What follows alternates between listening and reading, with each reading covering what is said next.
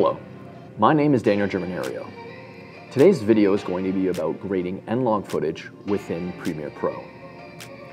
We've had a lot of requests for a tutorial on how to go about doing this within Premiere. Um, today's tutorial is actually going to show you a way to do it without using the provided N-Log LUT. Now, you may be wondering why I wouldn't want to use the LUT. Well, LUTs in the general sense are designed to work within a very specific set of parameters. Now, if your footage deviates from those parameters, it won't necessarily give you the desired result.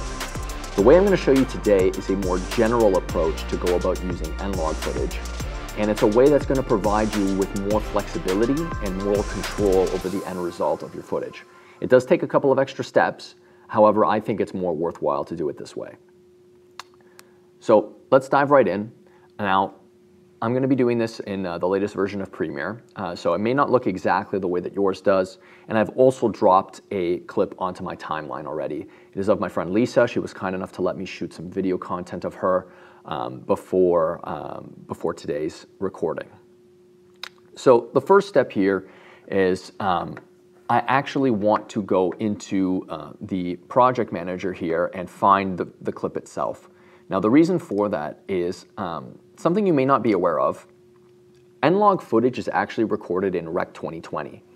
And if I actually go into the footage here and go to modify, interpret footage, you're gonna see this page here. We're gonna ignore the entire top of it. We only care about color management at the bottom. Now here you could even input the LUT if you wanted to. Like I said today, I'm not going to.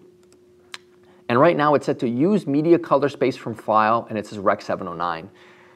That's why you're getting this kind of weird color because it's actually not Rec 709.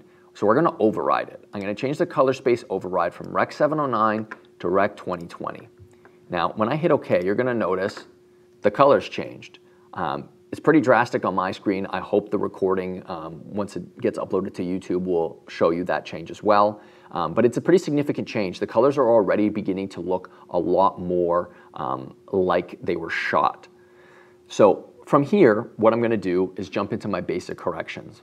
Now I like to do my basic corrections for like white balance and basic exposure adjustments um, on the footage itself. And then what I'll do when I wanna be more creative with the footage is I'll drop an adjustment layer on top uh, of this, uh, this particular clip.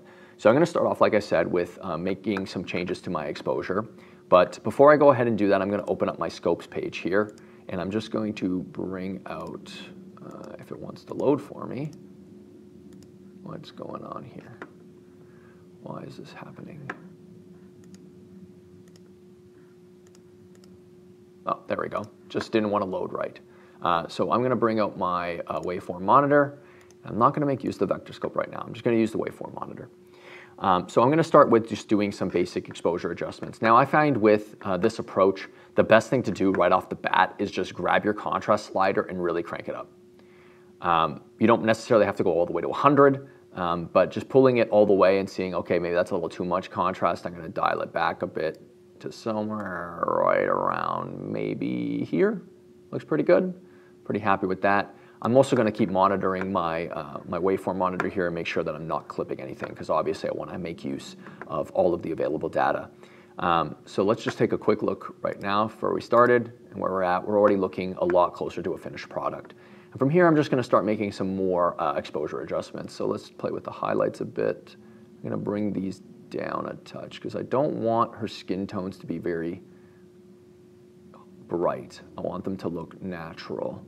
Uh, so I'm going to drop the highlights a touch, maybe bring my whites up a smidge. Uh, let's see what my shadows here.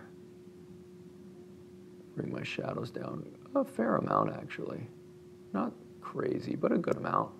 And my blacks, I'm to take to about there. So let's see again. We're to do before and after. Yeah. Yeah, I'm liking that. That's looking a lot better.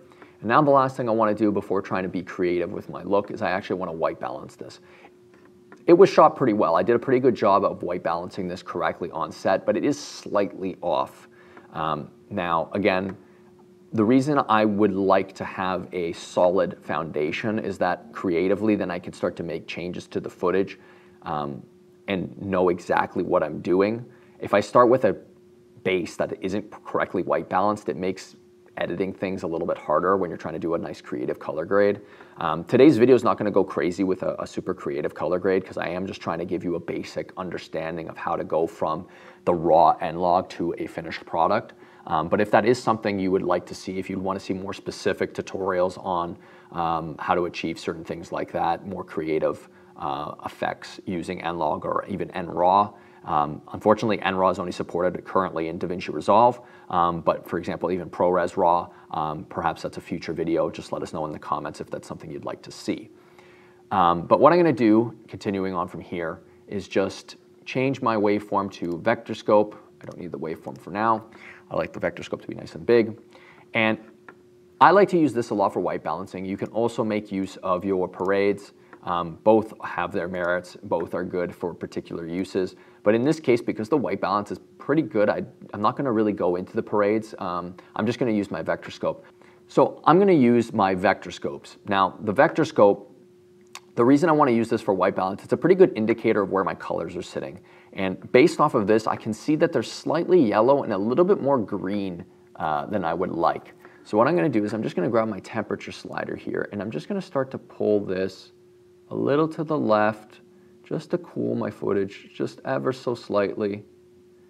And again, I'm making use of both my, my eyes in terms of looking at the footage itself as well as the vector scope and where everything's sitting here. And then like I said, I think it's just a tad on the green side, so I'm just gonna bring my magenta up a bit. So this would be somewhere around, so that's too far. I'm gonna say somewhere around here. And I'm thinking that looks pretty good. So let's see, before and after, before and after. Yeah, I'm pretty happy with where that looks, um, or where that's sitting right now.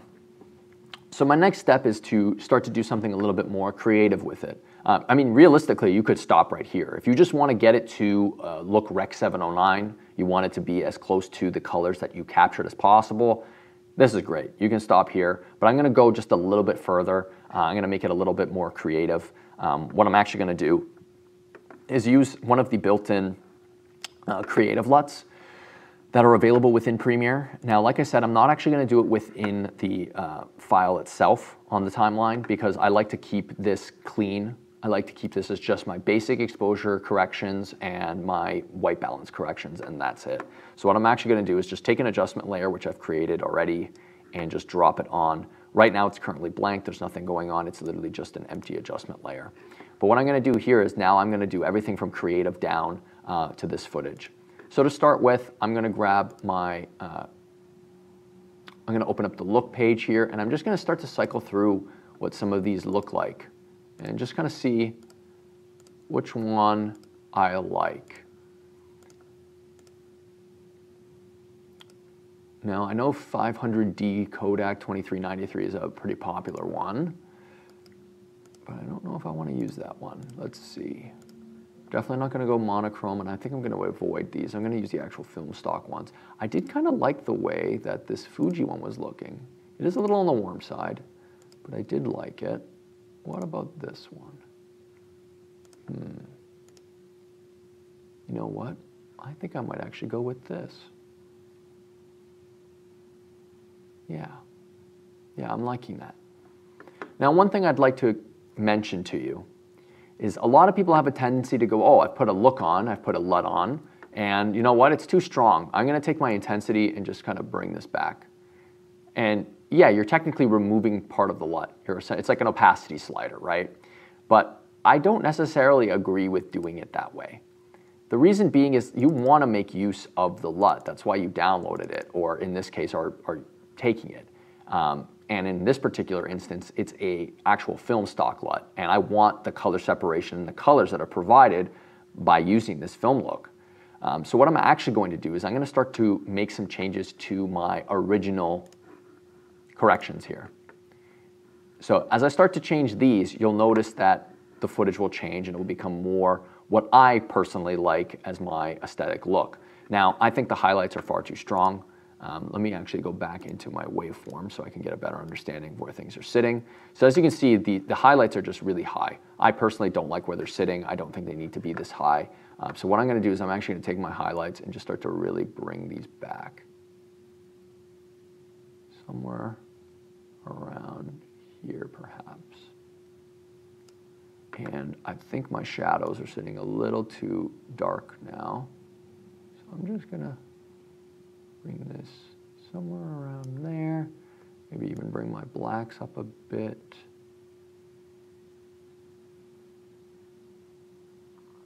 Again, I'm doing a combination of two things. I'm looking at the footage itself, and I'm looking at my waveform monitor to see where things are sitting. So I think I'm going to bring it to about there, and I'm going to bring my whites down a fair amount. Maybe somewhere there. Maybe bring my highlights back up a bit. Yeah, so somewhere around there. Let's see. How does this look? I'm actually liking that quite a bit. I think it's looking quite nice. Yeah, I'm pretty happy with that. Next thing I'm going to do, I find with all N-Log footage, um, the sharpness is just not 100% where I want it to be. So now that I've made those exposure adjustments, I'm going to click back on my adjustment layer, go back to creative, and I'm just going to start to play with my sharpen slider and my vibrant slider, and even maybe the saturation as well. But before I do that, I'm going to again switch back to my vector scope so I can see where the colors are sitting. And as you can see, we got this yellow, which is most likely this blanket. I mean, it's extremely yellow or mm, orangey yellow, uh, as well as these reds that are kind of peeking over here. And I'm gonna make a guess that that red is most likely the book in the background here. Um, so what I wanna actually do is, like I said, I'm just gonna sharpen my image a touch. Nothing crazy, but I'm just gonna sharpen it up a bit. And then I'm gonna take my saturation slider and I'm actually gonna start to bring it down a bit. Somewhere around there. And I'm gonna up my vibrance a bit to compensate a little bit for the desaturation. Yeah, so I'm liking that a lot more. Uh, it's a little bit softer. I might have even gone a little too far in the saturation. So let's see. Let's go right around in there. Yeah. So yeah, that's pretty good. I'm liking the look of that. My next step is going to be curves. Now, there are a lot of times where I actually won't even touch this. I might even just completely skip it. Um, and sometimes I like to just play around and see what looks I can create. So for instance, a lot of film has a kind of faded or gradual black look to it. It doesn't go like into a harsh black. Um, so what they might do is they might raise the blacks up a bit like so to give it a little bit of fade, but you don't want it to look completely faded. So what I would might do is just kind of bring the blacks in like this, same thing with the whites, just kind of drag the curves down and then take the curve and bring it back up to do a kind of gradual S curve. But let's see here. You're adding a little bit more contrast that way. Do I like it? Do I not like it? These are all things that I tend to do when I'm editing. I try different things out. You know, I'm not, uh, I don't think anyone can go in and just nail the look on the first pass. They're gonna go in, they're gonna try some things, they're gonna see how things look, and they'll probably end up going back again and reviewing it later. Um, I am a, a big believer in the fact that when you are grading something, even on a tight deadline, you should try to give yourself a day or two to let the footage kind of sit after you've done a grade and go back to it and review it again.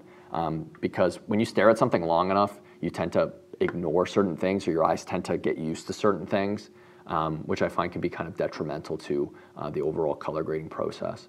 So what I'm gonna do, like I said, is I'm just gonna start to play with this and see if I can get it somewhere I like.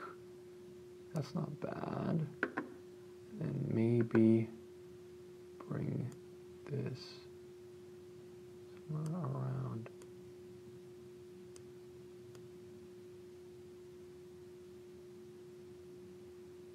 here. See what that looks like before and after. Before and after. Hmm. I'm gonna do a playthrough and see how it looks. No, I think that's too, too strong. I think this looks better. It just had too much punch to it. Didn't look natural. And even this, now that I'm reviewing it again, I still think it might be a little too bright. I'm finding I think her skin tones, just in the general sense, are sitting a little too, a little too high on my scope. If I were to go into my waveform here, you could probably see it. I think they're gonna be sitting a little too high. So I'm gonna go back into here, go into my corrections, and maybe I'll even just drop the exposure entirely. Just do something like this. Bring the whole thing down a bit. Somewhere in there. And then bring my shadows up, maybe? No. Shadows somewhere around there. And maybe I'll bring my whites up now.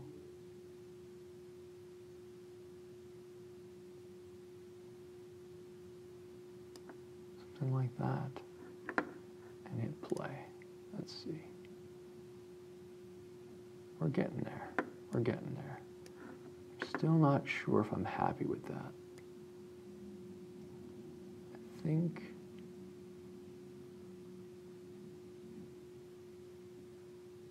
hmm. I think I want the highlights back. Maybe bring the whites down. So like I said, this is kind of like a, um, a little bit of back and forth. You're going to have to play with it. You're never just going to get it right away.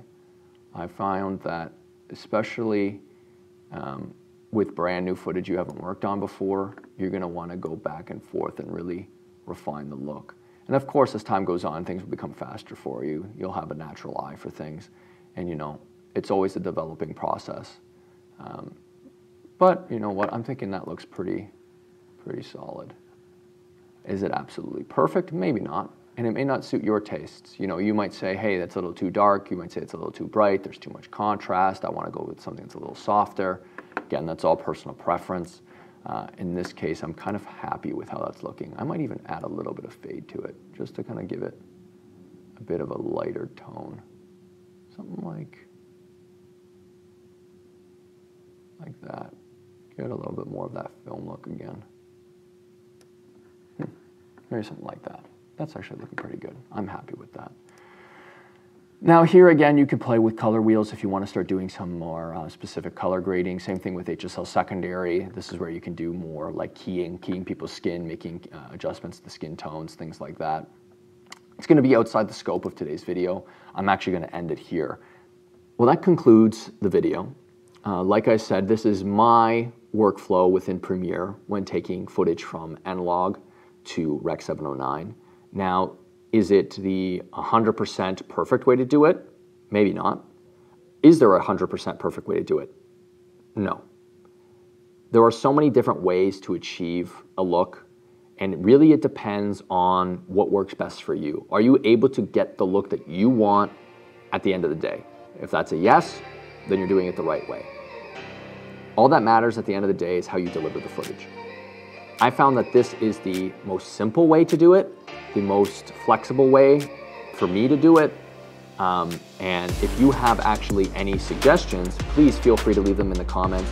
Uh, Nikon likes to support um, our fellow photographers and videographers by having open discussions. I hope that you're the same way and that you'll provide feedback not only to us, but also to anyone else watching this video if you have any suggestions. If there are any future video ideas or if there is anything in particular that you would like us to cover in a future video, please leave that in the comments as well. Uh, we do take a good look at them. We do take the suggestions uh, very seriously. Um, so who knows, your suggestion may end up being the next video we create. Thank you for watching.